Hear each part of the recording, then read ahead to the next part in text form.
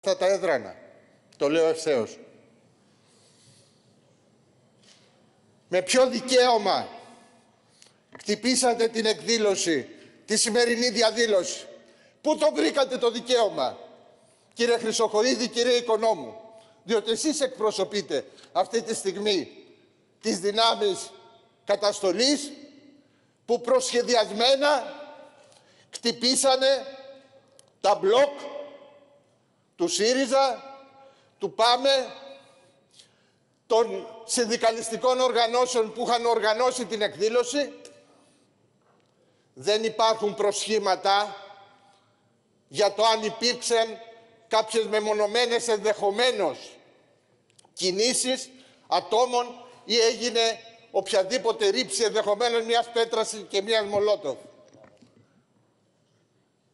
Είμαστε το ίδιο έμπειροι με εσάς, αλλά σε αγώνες. Δεν έχουμε την επιχειρησιακή εμπειρία τη δικιά σας.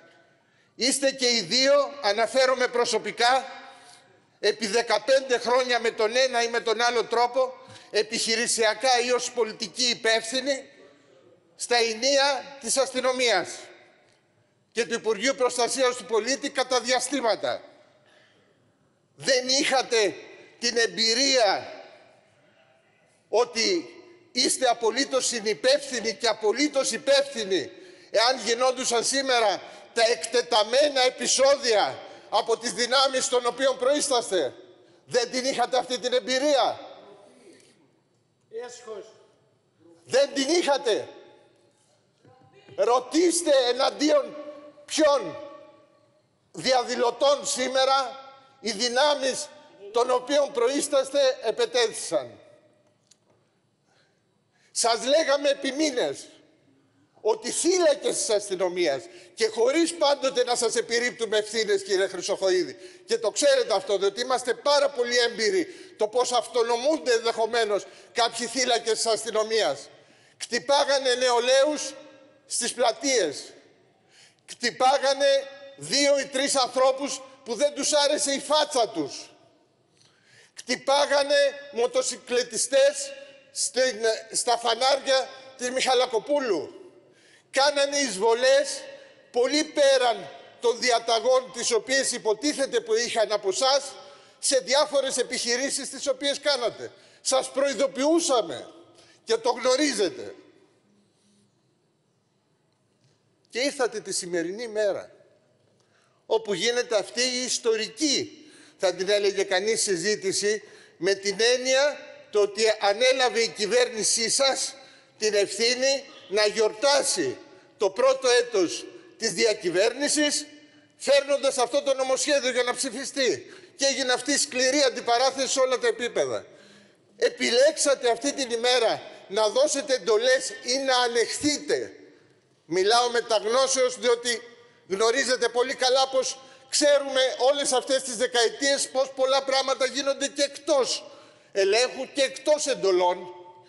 Εν πάση περιπτώσει όμως, ή δώσατε τις εντολές ή ανεχθήκατε αυτό το επιχειρούμενο πογκρόμ στους δρόμους της Αθήνας για να γεμίσουν οι ιστοσελίδες συμπουκωμένες με το ότι υπάρχει πρόβλημα στο κέντρο της Αθήνας και διαλύεται ο κοινωνικός συστός σοβαρά σήμερα που τα κόμματα της αντιπολίτευσης και οι τριτοβάθμιες συνδικαλιστικές οργανώσεις καλέσανε το λαό εναντίον του νομοσχεδίου. Να μην το χαρακτηρίσω, δεν μπαίνω σε αυτή τη συζήτηση αν είναι τερατούργημα ή οτιδήποτε ή ποια εμπνεύσεως είναι. Εναντίον του νομοσχεδίου το οποίο φέρατε εδώ. Επιλέξατε ή ανέχεστε να γίνει σήμερα αυτή η κατάσταση στο κέντρο της Αθήνας; Σας το λέω ευθύτατα από το σημείο που ξεκίνησα. Δεν μπορείτε κατά την κοινή δημοκρατική λογική και την κοινοβουλευτική τάξη να συνεχίσετε να είστε σε αυτά τα έδρανα.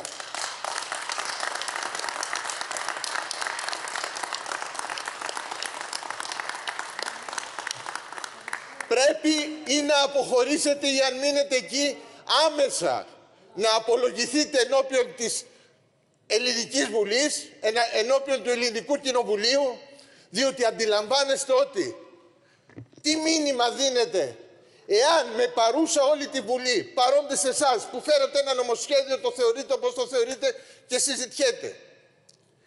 Καλούν τριτοβάθμιες οργανώσεις, καλούν τα κόμματα της αντιπολίτευσης. Τι το πιο επίσημο; Εάν σε αυτή την εκδήλωση τη σημερινή συμβαίνουν αυτά που μαθαίνουμε έξω, μηχανές με διάφορους που περνάνε μέσα από τη διαδήλωση, διάφορα νέα παιδιά που όμως είναι στην αστυνομία και κάποιοι τους είπαν να λειτουργούν εκδικητικά εναντίον νέων ανθρώπων και διαδηλωτών. Τι θα συμβεί κύριε Χρυσοχοίδη και κύριε Οικονόμου στις επόμενες διαδηλώσεις, στις επόμενες εκδηλώσεις για τα κοινωνικά αιτήματα, για τα δικαιώματα, για το κλίμα, για όλα αυτά που αναφέρθηκαν σήμερα.